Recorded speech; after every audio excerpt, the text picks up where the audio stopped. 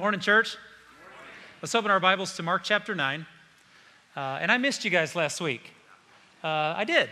And uh, let me tell you why. Uh, if that's how the rest of the world spends Sundays, I'll pass.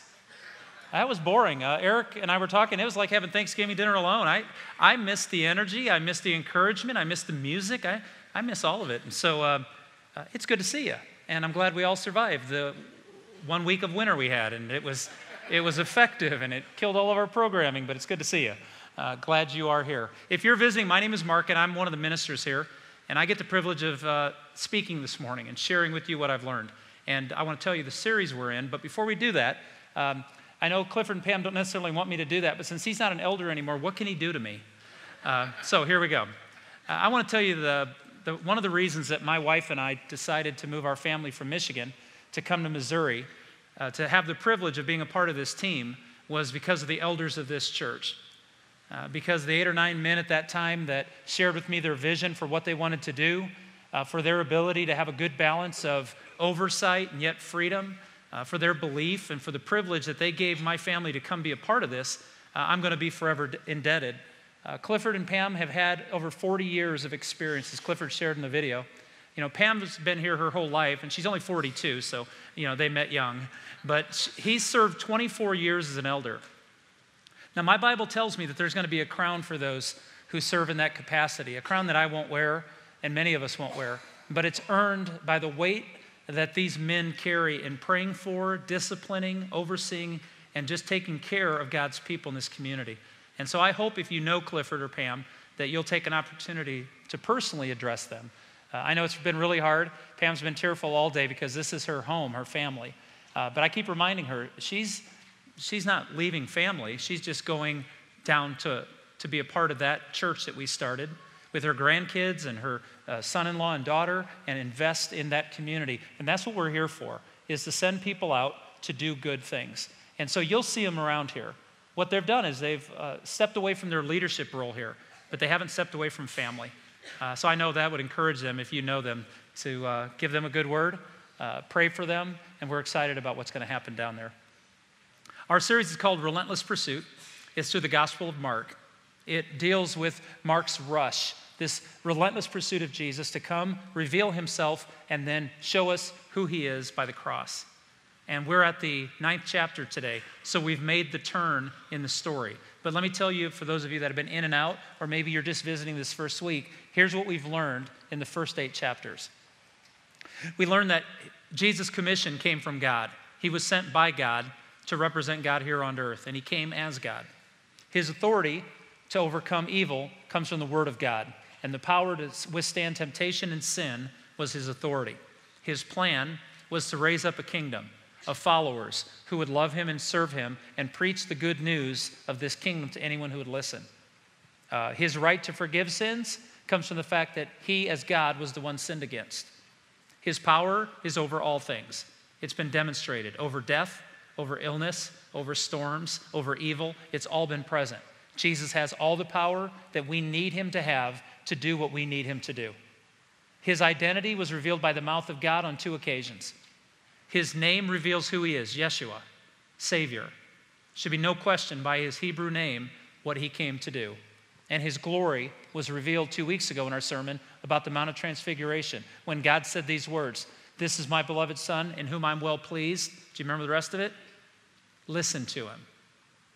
His identity, his calling, all has been revealed. We get to chapter 9, and Mark makes a turn in the story. It's a dramatic turn. It goes from who he is to what he came to do. Even when the disciples didn't understand it or didn't appreciate it, Jesus was on a relentless pursuit to go to the cross to fulfill his name as Savior.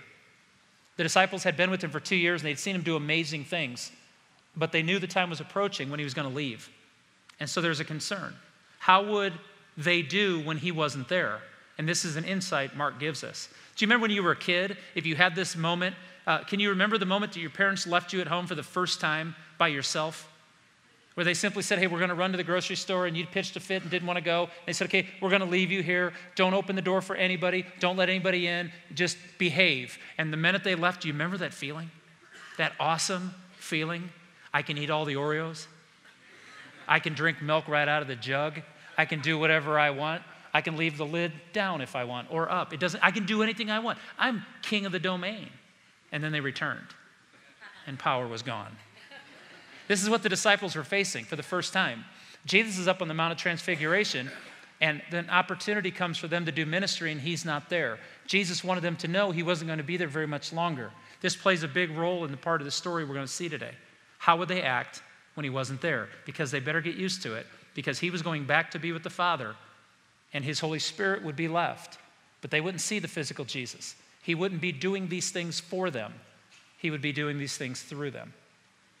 So now we enter a time when the story turns toward Jerusalem. And out of the glory of the transfiguration, the mountaintop, I want to contrast where we've been two weeks ago and where we are today. The Mount Transfiguration, they were on a mountaintop. There's a beautiful moment. God said, This is my son, listen to him. Elijah, Moses were there. His face was as bright as the sun. His whole glory had been revealed. His countenance had been changed. The disciples said, We need to cleanse ourselves because we're in the presence of God's purity and we're going to die. And Jesus said, No, no, I'm your protection. From that mountaintop, Jesus is going down to the valley. Please understand that that is more than just a historical fact, it's a great metaphor. For many of us, we want to live on the mountaintop, but we can't. We're going to go through the valley where life happens. And this story today that Jesus went through reveals us what can happen. But let's look at the contrast. On the mountain, there's glory. In the valley, Jesus would discover suffering. On the mountain, God dominated the scene. Down in the valley, Satan's dominating. On the mountain, the Heavenly Father is pleased. In the valley, an earthly father is devastated. On the mountaintop, there's a perfect son in a damaged world. In the valley, there's a damaged son awaiting a perfect world. The contrasts are so evident. It's a beautiful scene. There's a dramatic moment going on. Mark chapter 9, verse 14. When they came to the other disciples, they saw a large crowd around them and the teachers of the law arguing with them. So Jesus comes down, the remaining disciples and a few others are gathered. There's a bit of a commotion. The crowd is stirred up. There's a lot of arguing going back and forth. There's shame and embarrassment on one side, there's arrogance and opportunity on the other, and this is all playing itself out. Verse 15.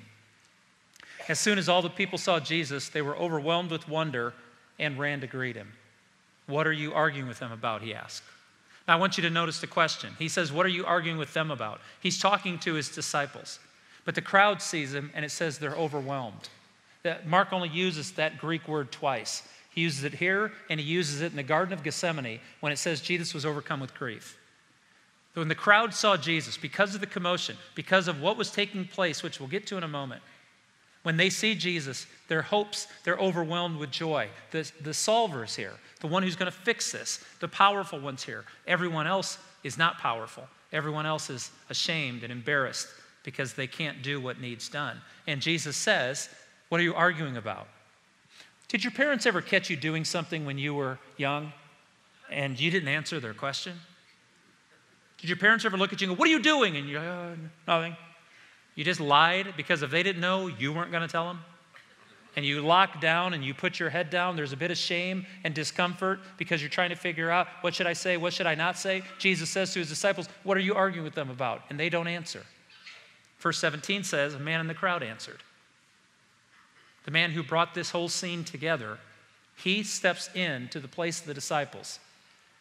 Teacher, I brought you my son, who is possessed by a spirit that has robbed him of speech. Whenever it seizes him, it throws him to the ground. He foams at the mouth, gnashes his teeth, and becomes rigid. I asked your disciples to drive out the spirit, but they could not. And that's the moment. You see, he brought his son who had been demon possessed. And, and I want to pause there. In verse 18, it says, whenever it seizes him. There are some today that are so arrogant. And I, I use that word effectively, I believe. They're arrogant because they believe that they know more than the eyewitnesses of that day. The father said, My son has been demon possessed, and when the demon seizes him, and Jesus did not dismiss him by going, Oh, silly man believing in myths. There's no such thing as demon possession. Jesus affirmed his diagnosis. But in our world today, we are so arrogant to assume that, oh, it was just an epileptic seizure. But these people were so ignorant that they didn't understand, so they just cast it off as a demon. That's not true. If the God of the universe cast the demon out of a young man, it was a demon, not a seizure. It's important for us to understand that if we're going to believe what the scriptures teach, and we should, that we need to let them speak while we're silent. And Jesus, the Father said, when it seizes him, it dashes him to the ground. It's tormented him since he was a kid. Luke said the Father begged him, said the Father fell on his knees and called him Lord. He's a desperate dad. He's hurting. Imagine yourself having a child who's thrown into these thrown on the ground and he's uh, rigid and foaming at the mouth. And if you've ever seen a, anyone go through a seizure, you realize what a helpless condition it is for those that aren't and the struggle with all of that. But he knew the power of Jesus. And he said, I went to your disciples, but they couldn't help me. And that's not a flawed assumption. If you look at Mark chapter 6, this is why the man would have believed they could. In Mark 6, it says, verse 13, they drove out many demons and anointed many sick people with oil and healed them. They had done this before. They had cast out demons, not epileptics, not grand mal seizures. They had cast out demons by the authority of Christ. Verse 7. Calling the 12 to him, he sent them out two by two and gave them authority over all, all evil spirits. So they had done this. So the question is, why couldn't they now? And Jesus sees the turmoil and he hears the argument and he says, What's going on here? Why are you arguing with them? Because the scribes were trying to, to, defame them and shame Jesus. And the man says, I brought you my son, and they couldn't help him. And Jesus replies in verse 19, Oh, unbelieving generation. I wonder how he said it. Tone matters, doesn't it? Did he say it with a sigh, like, ah, people? Or did he look at him and go, unbelieving generation? That's the reason. You don't believe. However, he said it, his point was made. And then he said, How long shall I stay with you? Now, be careful that you don't turn that in into the Western culture to go, You know what? I've had it with all of you. Be gone.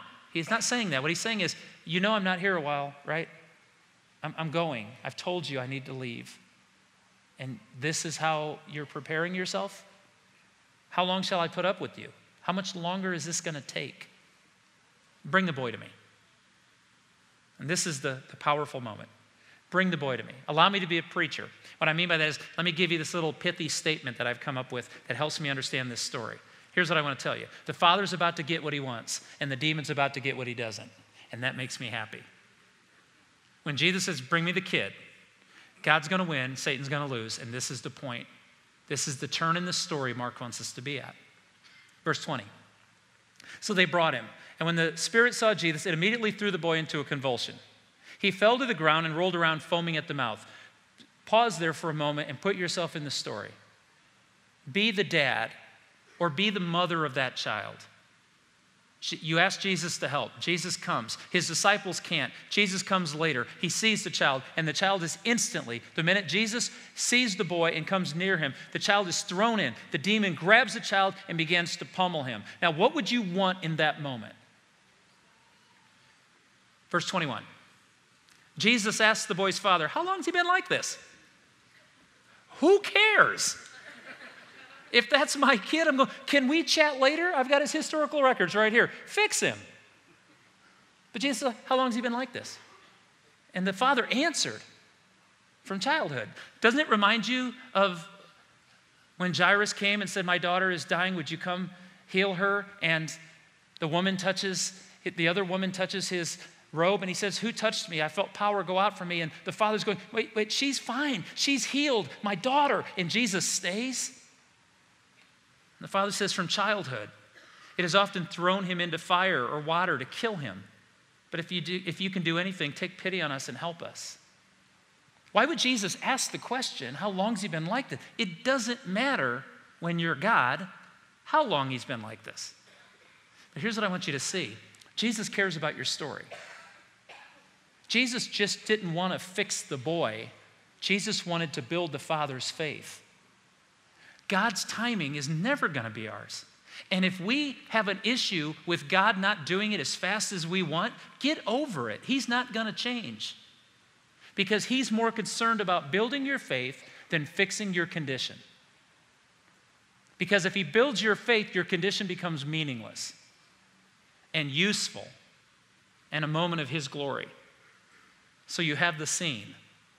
Can you imagine how that father's every day has gone the entire lifetime of his son? Never can leave his son alone because if he If he's thrown down into the water, he could drown. He's been thrown into fire and burned. This isn't a precious little boy all beatific.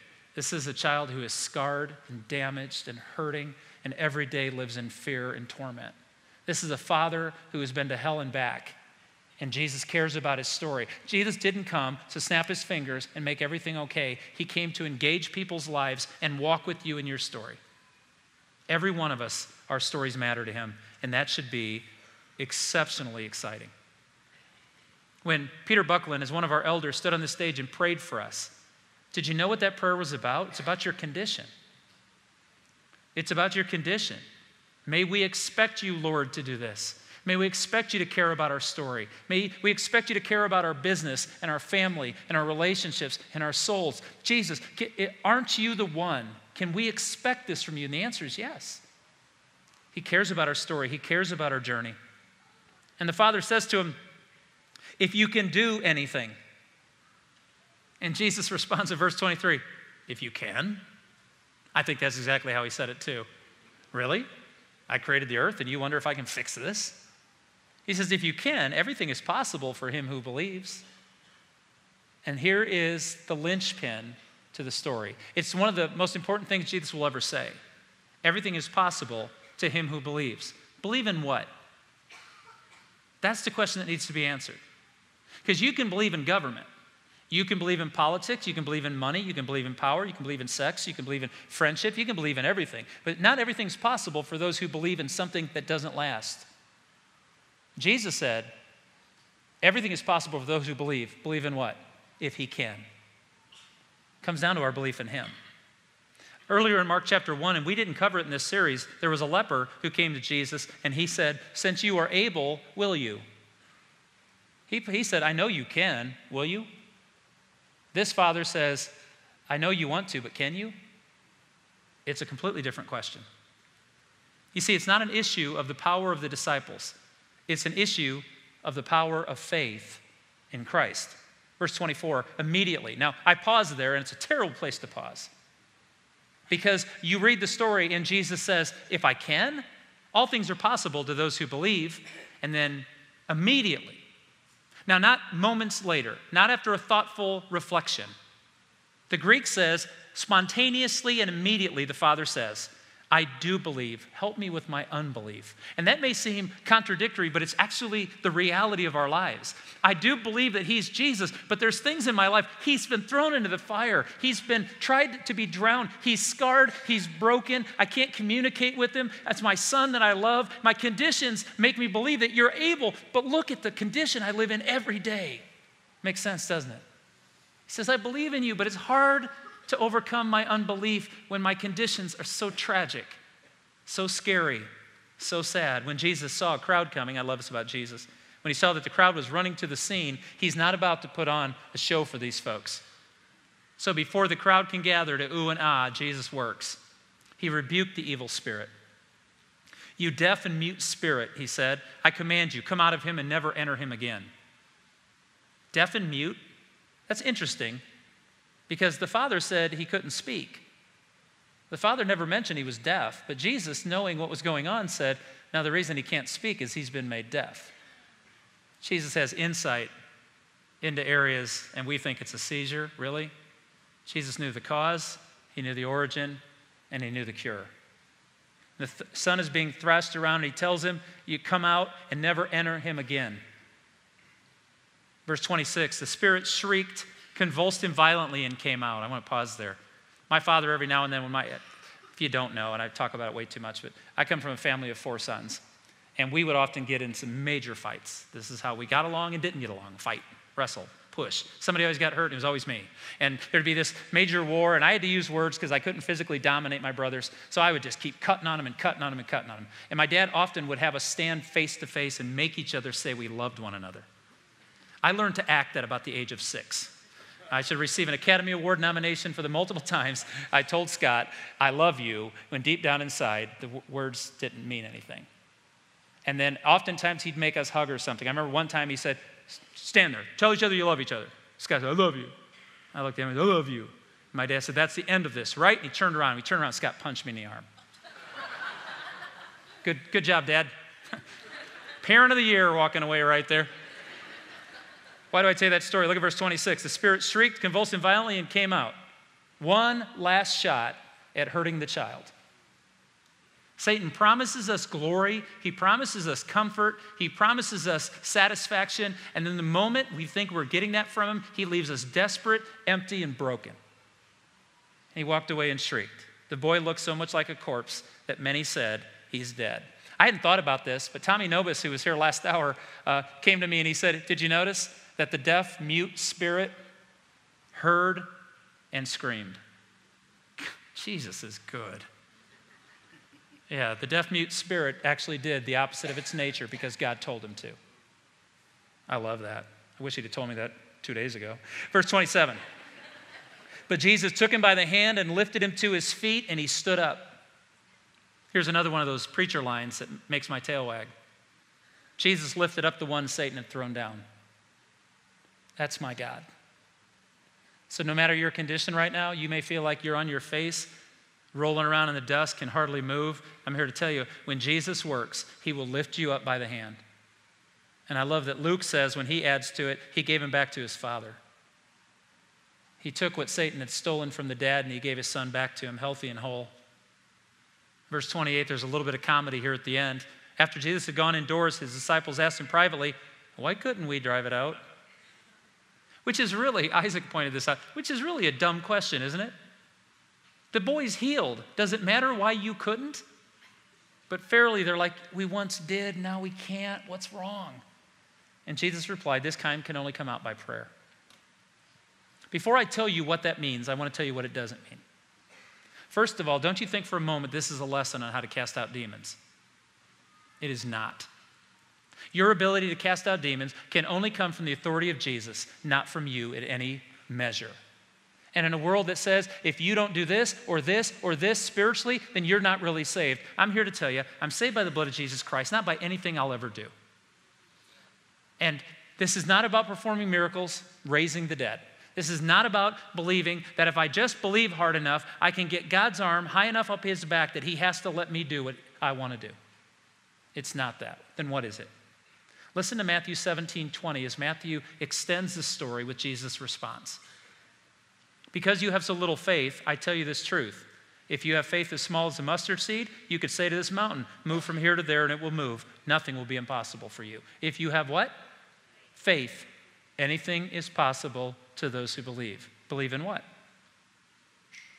I'd like to make two points, give you something to pray about. I'll be done. First point is this helplessness, not holiness, is the first step to accessing the presence of God. They asked him, Why? Why could we not do it? And Jesus shows them that it was the Father, the Father who fell on his knees and prayed a simple prayer I do believe in you. Help me with the things I can't believe in. Help me overcome my unbelief. And that's a struggle for most of us. When we made a profession of Jesus Christ as Lord and Savior, many of us just assume, okay, I'm good. No, you're not good. You're starting. It's the faith that saves you, is the faith that propels you the faith that guides you and leads you and creates in you new life.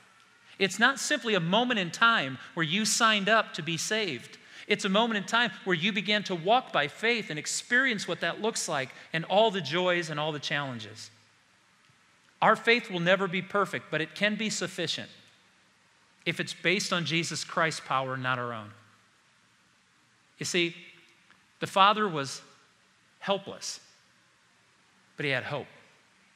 And he fell on his face before Jesus and he called him Lord and he said, You can, I can't. The disciples couldn't because they thought they could. I know that's a strange sentence, but you know where I'm going with that? They believed that because they'd done it in the past, they could do it now. And Jesus said, No, no, this, this kind, and he used a specific Greek word, this kind of demon can only be cast out by prayer. Guess what? You didn't pray. You tried to cast the demon out by the things you always did instead of by the power available to you and me. Go on your own, and you're going to end up lonely. Go with Christ, and you'll end up powerful. But it all starts with the submission to the fact that I need Him, and without Him, I can do nothing. Second point I want to make is faith requires that you give God your most precious things. Nothing happened until the Father gave the Son to Jesus. His whole life was built around protecting that child. He was desperate. He'd gone to the disciples, they couldn't do it. He went to Jesus, he fell down. Jesus asked the disciples a question. The father interjected into the story. He said, Help me, my son. I brought my son to you. I don't know what it is, but I'll tell you, I believe you can take this moment in time and you can transpose yourself into the story. What is the thing right now that's keeping you from believing? And I don't mean believing Jesus is God, I mean believing that He can change every moment of your existence. See, this father had to give his son. There's nothing more he could do. And he gave him. And what is that thing for you? Is it a relationship? Is it your job? Is it your health? Is it a family member who's struggling? I've had incredible conversations with people this morning all over this little end of the building I get to stay in on Sunday mornings, talking to people who are bringing me their, their son and their daughter, or a coworker, or a spouse who won't believe because of God's timing wasn't theirs and they're praying for them, help them in their unbelief. It all comes down to not what we're capable of doing, but what is that thing right now? What is that condition in your life, that set of circumstances that you're begging God to fix instead of asking God to give you the faith that you need through it? And that's the application today. You're going to have to bring God the most important things. Because when He takes them from you, you'll have to have faith. Look at the rich young ruler.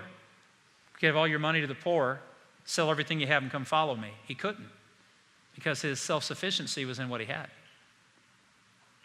He says to this father, Bring your boy to me. And the father handed his son over. You see, the thing that Jesus most wants from us and for us is an understanding that we bring nothing, he brings everything. And when he brings everything, our faith grows. We know where it comes from, and things get taken care of. God is building our faith. He's not about fixing our condition. Because sometimes our condition is exactly where He needs us to remain so that our faith will grow. Bryce Hotchkiss, a friend of mine who preaches in Pittsburg, Kansas, uh, wrote this yesterday in, or uh, last week in some notes we were sharing. He said they thought that they needed the right words or the right process when what they really needed was the right connection to Jesus. Boy, Bryce is right. I love the passage in 1 Peter 1 that Peter writes. He says, Though you have not seen him, you love him. And even though you do not see him now, you believe in him and are filled with an inexpressible and glorious joy. I envy the disciples at times.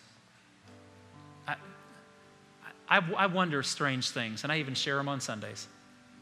I wonder, could I make Jesus laugh? You know, would he give me one of those begrudging laughs my wife gives me? Or she rolls her eyes and she laughs against her will, like, ah, why did I marry you? I know I could make him angry and I know I could disappoint him. But I wonder if he would ever look at me and go, that was a good one. I wonder if I pulled out a bag of red licorice, which I keep all over my world, and I said, Jesus, do you like red licorice? And he goes, Yeah, I made it. Give me some.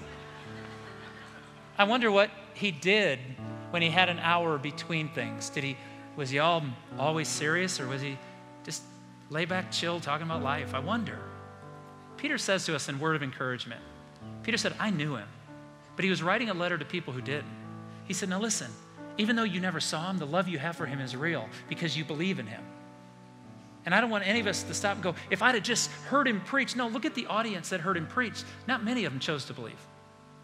The fact that you and I believe is not about us. It's about what the Holy Spirit's doing in us. It's about the moment when we open the Word of God and you're like, yes, that doesn't come from us, that comes from Him. Our faith cannot be built on how much better we've become or how much brighter we've become or how much more scripture we know. It has nothing to do with that. Our faith can only grow when we need Jesus so desperately that nothing will happen without him. I can't do my work without him. I can't raise my kids without him. I can't be married to my wife without him. I can't be a good human being without him. There is nothing in my life that is separate from my faith that Jesus Christ has to come into the story or my story's going to end tragically. So, what's the prayer we're to pray? Jesus, I believe. Help me in those areas my unbelief is choking me or blinding me or throwing me on the ground and keeping me from living the life you want me to live. You see, we sang a song a few moments ago. I believe in God the Father. I believe in Christ the Son. I believe in the Holy Spirit. Everything, three in one. We don't sing that song because it's just a cool song. We sing that song because it's a profession of faith. God, I believe in you. I believe in your Son. I believe in the power of the Holy Spirit, but I need your help. I can't fix me. I need your help to guide me. Help me see what's blinding me. What conditions of my life I want you to fix before I trust you. Instead of trusting you, even though some things will remain unfixed. And we're going to sing a couple of songs here in just a moment, not because it's time to sing. These songs say something. And if you pay attention, you're going to be moved here today. Because the songs we're going to sing is a profession, it's a prayer. Help me with my unbelief. Some of you, your journey's hard. I've seen it with tears at the tables. You're carrying a lot of weight right now, and you're not meant to. God didn't ask you to fix the world, He'll take care of that. He wants you to trust Him through it step by step, faith by faith, moment by moment. If you need someone to pray with you this week, to journey with you, if you want someone that you know is going to pray with you each and every morning, each and every evening, that you that what you're facing, you can relinquish to Jesus and in his timing and in his way fix it. We ask you when you go out of this room, just walk out and turn to your left. In the northeast corner of our foyer, you'll see some prayer tables. I'll be there with some others. If you need someone to walk with you, I said it last hour and I need to say it, and then I'll be done. It is not common in our culture for any of us to admit we've got a problem. That's uncool, it's uncalled for. I'm not gonna, I'm not gonna do that. I'm gonna beg you. Be like the Father. Fall on your face before God Almighty and cry out, Lord, help me.